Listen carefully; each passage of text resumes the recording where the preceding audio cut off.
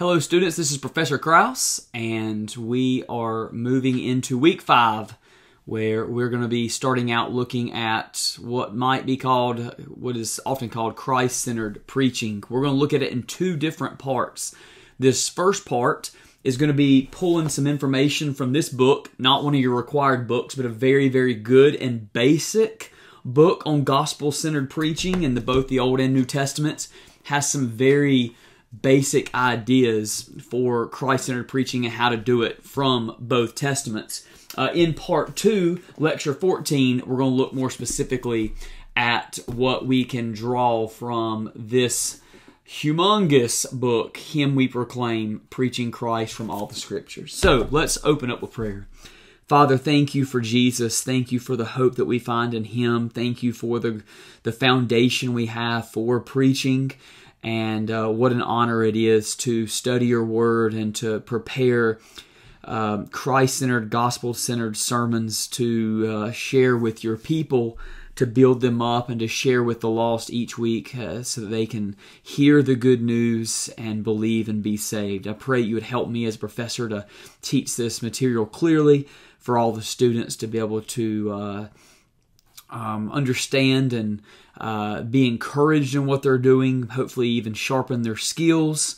And God, we do it all for you and your glory. In Jesus' name we pray. Amen. So, just thinking about it at a, at a basic level, I mean, shouldn't Christ centered preaching be easy in the New Testament? Because the first four books are all about Jesus, following are uh, the the reality of Jesus and His saving work being lived out in a community, uh, isn't Christ centered preaching, you know, just sort of automatic when you preach the New Testament and you reference Jesus? Um, you know, it, it reveals to us in thinking about these questions that how we define Christ centered preaching is very important. That Christ centered preaching is actually more than just saying the word Jesus or pointing to something that he did in his life. Uh, Christ centered preaching at its core is a model of preaching that seeks to faithfully proclaim Christ from all of Scripture, including the New Testament, which we're studying, uh, following the example of Jesus and Paul and the apostles.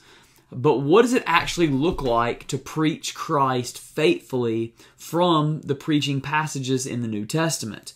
Um, uh, I've I've spoken about this uh, this pastor named Jeff before. This there's another uh, conversation that I had with him, ongoing conversation I had with him that I think is relevant to this uh, this lecture, and it as I began to study at Southeastern Seminary and was studying, um, not even specifically preaching at the time, but as I had what we would call Christ centered preaching, gospel centered preaching modeled for me week in and week out in chapel and, and beginning to listen to some of the uh, preachers uh, that came to chapel.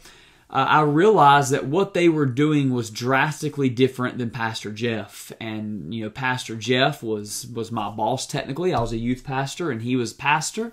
Um, and so I sat down to have you know just a conversation with Jeff, uh, hoping to learn from him. And what I mean by learning from him is this wasn't some sort of trap where I went to the office and said, "Hey, this is what you're doing wrong." But you know, as, as someone who was over me, he was the pastor, I was the youth pastor, and, and wanting to learn um, and be given opportunities to preach, uh, I began just to ask questions about it. And what became very clear was that uh, Pastor Jeff thought that really Christ centered preaching meant giving a gospel invitation at the end of a, a, sermon, which is which is great, you know, inviting people to respond to the good news they heard. The problem was what I noticed the more I learned about Christ centered preaching and preaching the gospel is that um, he wasn't really preaching the gospel in the sermon. Old Testament or New Testament, he was seeking to, to preach it faithfully to what was in front of him, but there was very little to any mention of Jesus or what he had accomplished and how that changed the significance of a passage.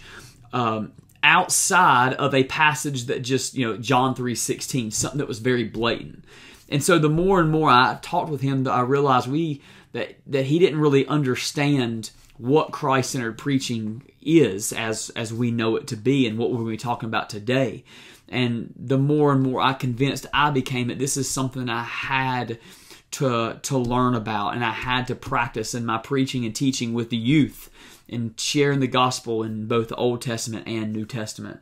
Um, uh, a man named Charles, uh, let's say hypothetical man named Charles, he preaches sermons from the Old Testament and New Testament, but he spends the last five minutes of every sermon sharing the gospel and why listeners should believe and be saved. Is that Christ centered preaching? That's kind of what Jeff was doing. Then there's Ed, who emphasizes who Christ is, what he did, and how we can live like him in every sermon, but he often ignores the context and message of the passage he's preaching from. Is this Christ centered preaching? I would argue no to both of them.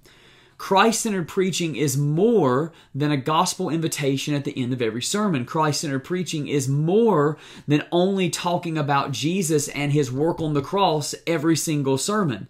Christ centered preaching is, is not trying to find Jesus in every single verse. And we're going to talk a lot more about what Christ centered preaching is and isn't in round two, uh, in part two, when we look at um, Him We Proclaim.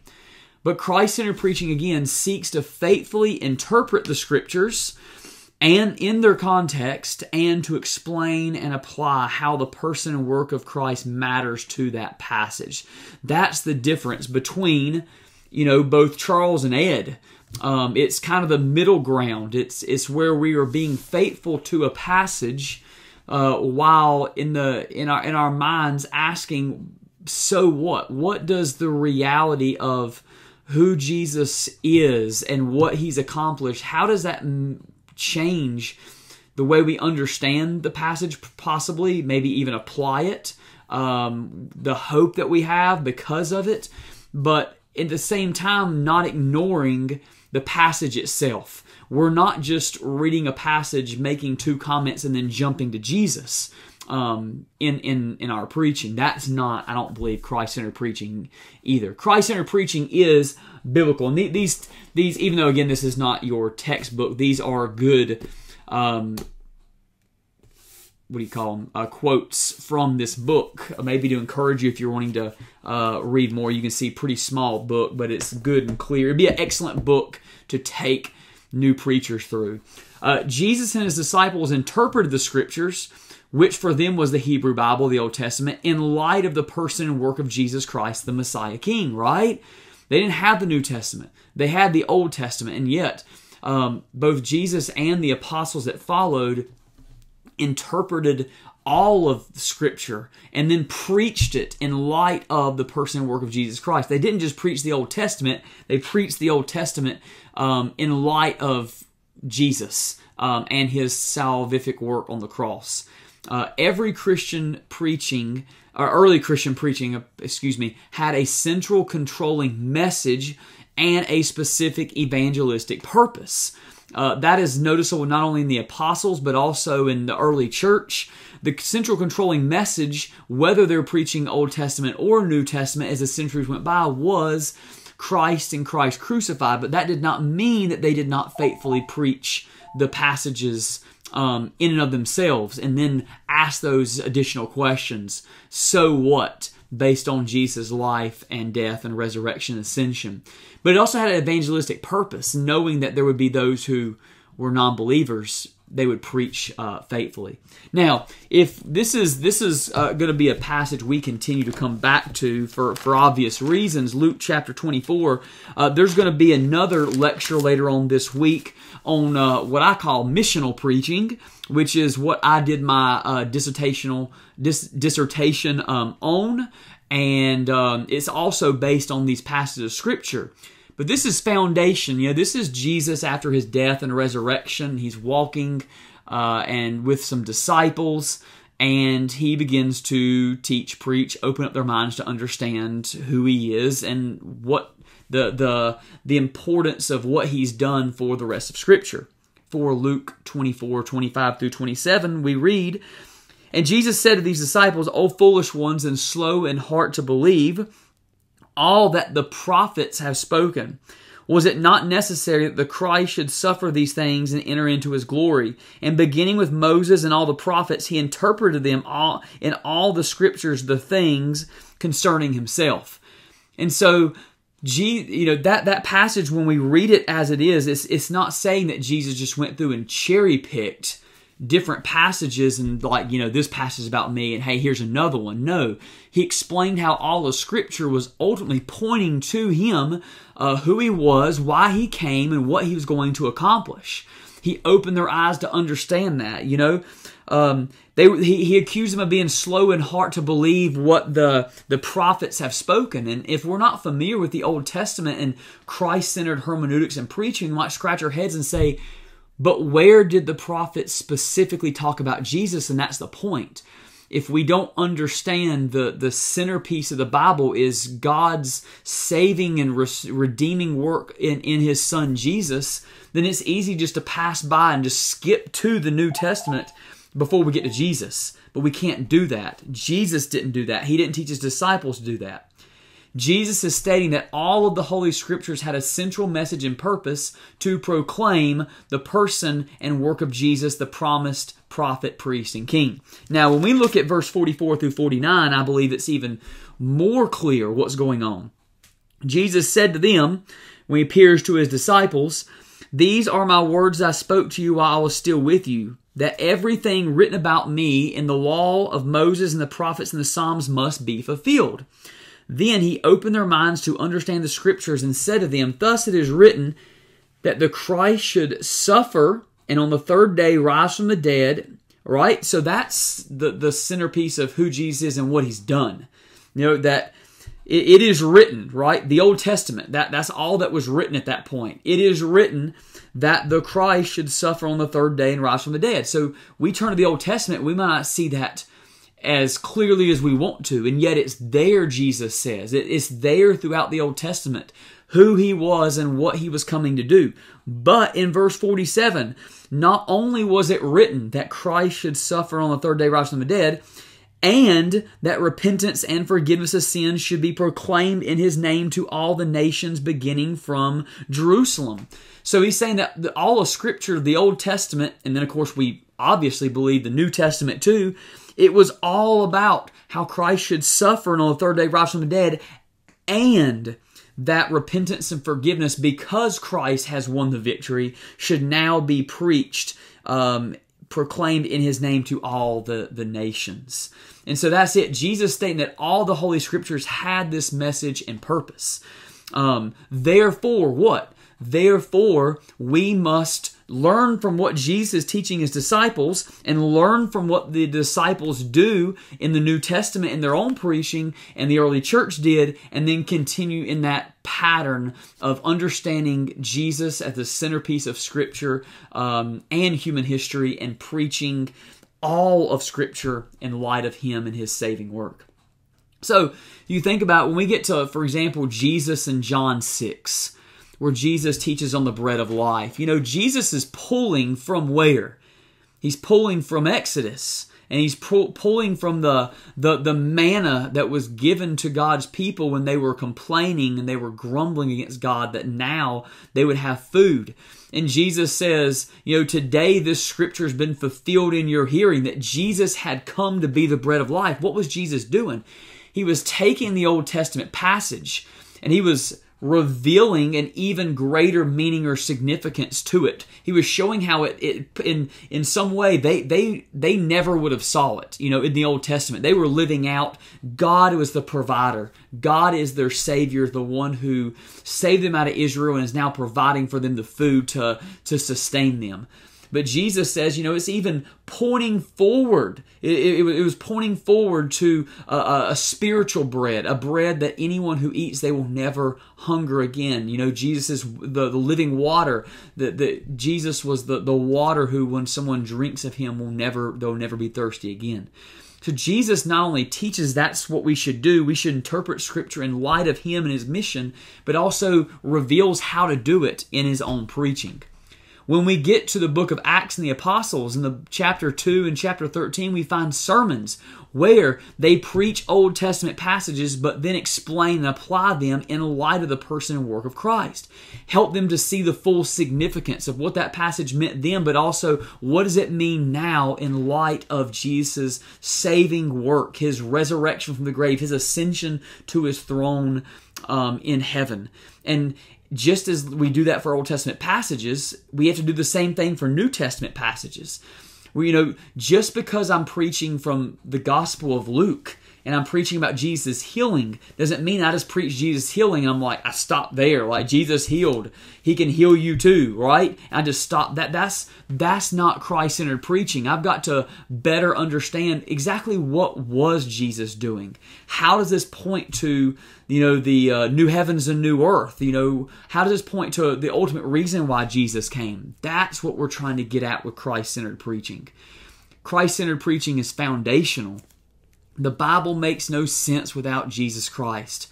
The life, death, and resurrection, I would add ascension of Jesus, is the key to under to unlocking the mystery of the grand narrative of the Bible, both the Old Testament and the New Testament the main biblical themes find their significance in light of G- Jesus. If you're talking about sin, you're talking about covenant, you're talking about mission, salvation, redemption, community, God's people, glory, all of these find their significance uh, most clearly in the person and work of Jesus.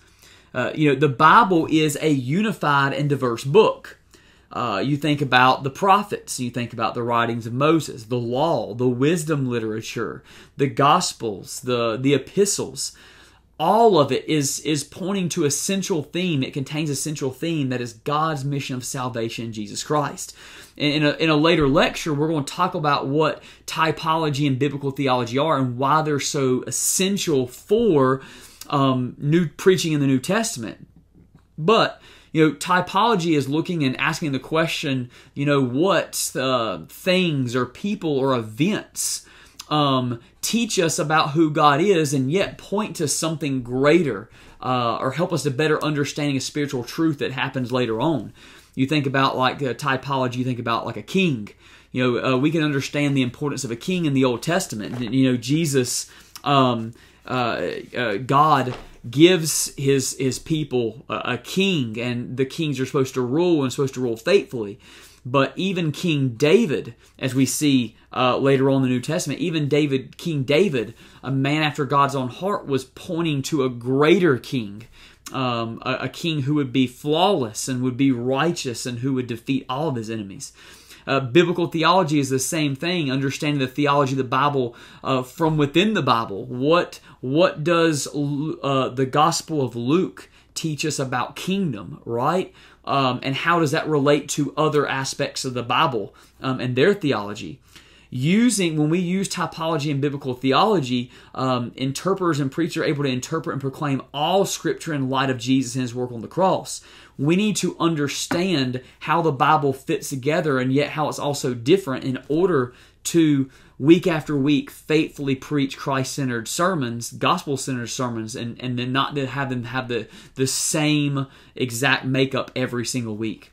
Christ-centered preaching is also practical. We need to preach Christ in our sermons because Christians and non-Christians both need the truth of the gospel. Our goal in every sermon should not only be to share the good news of Jesus Christ, the hope, peace, and joy and love we can find in the cross. Um, and and you know we're preaching that for non-believers to hear that and respond but also we need to encourage Christians that wherever we're preaching from, it is significant to them and their life, to their beliefs, to their worship, to their Christian living, um, and that that's that's the practical side of it rather than only preaching imperatives, go and do this. Biblical Christ centered preaching also involves preaching indicatives. This has already been done. Therefore, one of our main goals in, in Christ centered preaching is to help our people understand the difference Christ makes in our passage, the significance for them and their life.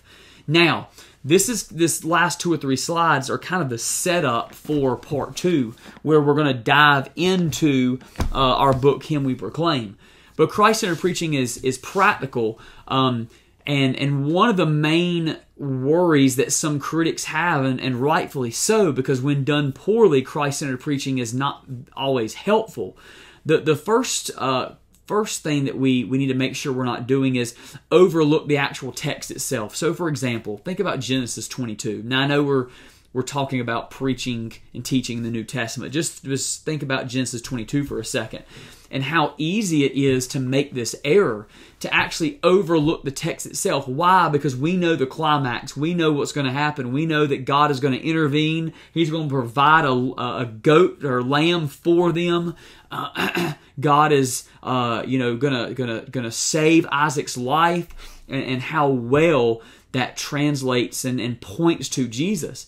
But I've heard it before where the the pastor, I mean Genesis 22 is kind of a, a lengthy story and it's a great story, but they spent about 5 to 10 minutes preaching Genesis 22 before they got to Jesus and in doing so they didn't build up the tension. They didn't tell the story. They didn't help the, the hearers to understand the full significance of what it means to trust God and to be faithful to God even when He asks you to do the, the unthinkable. Um, and, and how His love and grace and intervening, providing, sustaining, uh, changes everything for us. Uh, we do not want to overlook the actual text itself. And, you know, we can be tempted to do that in the New Testament too where we just, you know, Paul writes about um, loving one another. And rather than actually preaching the passage and, and going in depth about why it's significant and why Paul is teaching that, we jump straight to uh, you know John three sixteen, and we overlook the actual text itself. That's not being faithful to the text. Um, the the desire to get to Jesus is good and, and right, but we've got to do it faithful, just the way Jesus did and the, the apostles did.